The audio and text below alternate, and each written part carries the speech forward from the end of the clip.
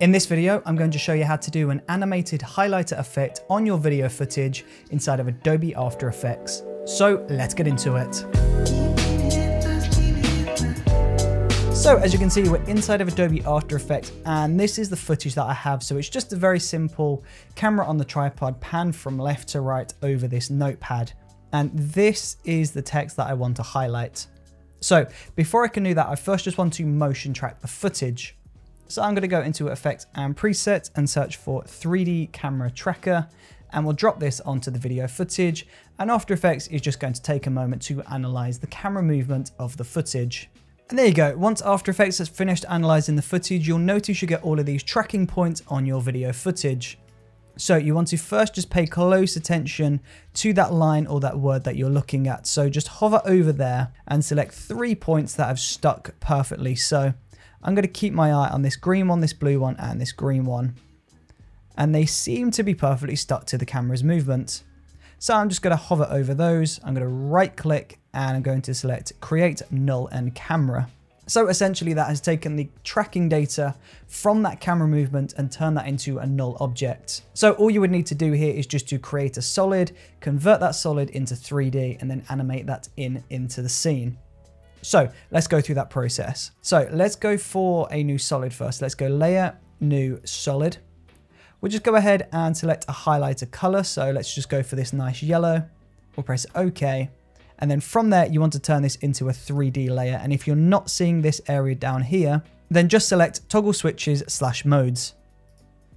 So we'll select toggle switches slash modes and that should reveal this box here. So you've got the 3D box here. We'll select that and that will turn that box into a 3D layer. Now at the moment you can see this is way too large. We can't see what's happening. So I'm just going to go into transform. So transform, drop down arrow, and we'll just decrease that scale down. And you just want to scale it down so that you can see that it's going to track to this line. So let's go to the beginning and let's play this back.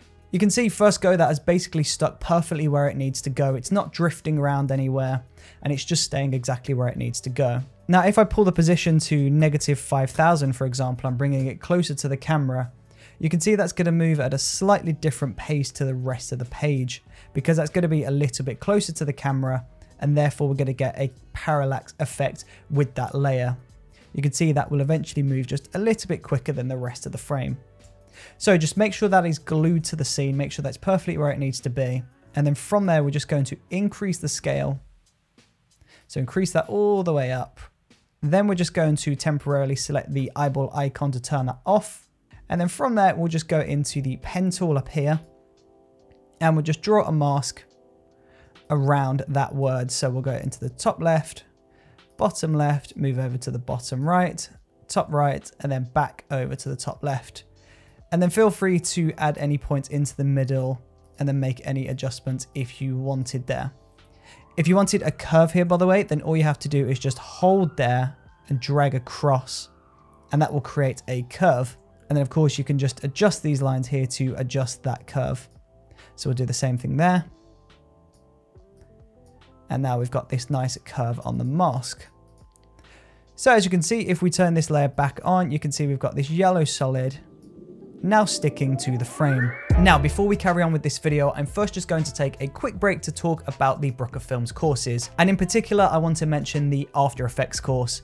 Over on Skillshare, I have a two hour plus Adobe After Effects course, which covers everything from importing your footage to creating new shapes, masking, green screening, rotoscoping. It covers everything you could ever need when you're first getting started into Adobe After Effects.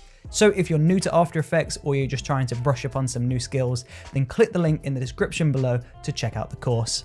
Now, back to the video. Now from here, you can see we've got this highlighter now marked on top of the page and it's staying glued to the frame, but the problem is it's blocking the word.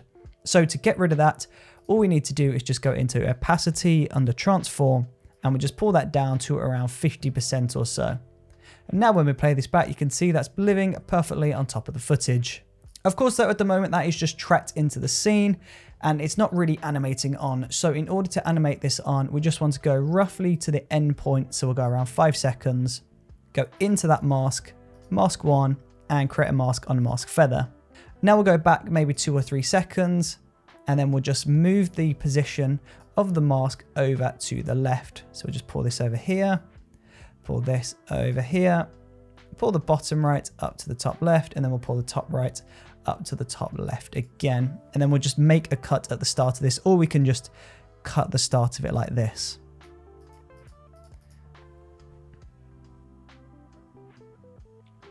So as you can see, that is now animating in over time.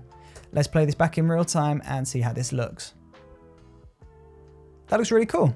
Of course, if that animation didn't look exactly fluid to you, then you can always change the keyframes by highlighting them both, right-clicking one of them, going keyframe assistant and selecting easy ease, and that will create a more fluid animation.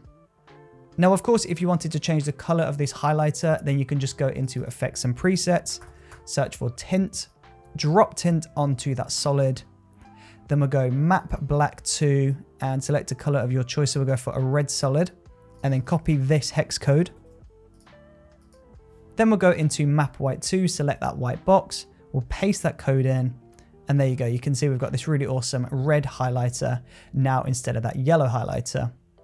And of course, if you wanted to really make this blend, then you can just turn on the motion blur on that layer and that will give this really nice soft motion blur as this is animating across. But there you go, that is how you track your video footage and add a fake highlighter animation effect into your footage using Adobe After Effects. So thank you ever so much for watching this video. I really do appreciate your support and hopefully I will see you on the next video.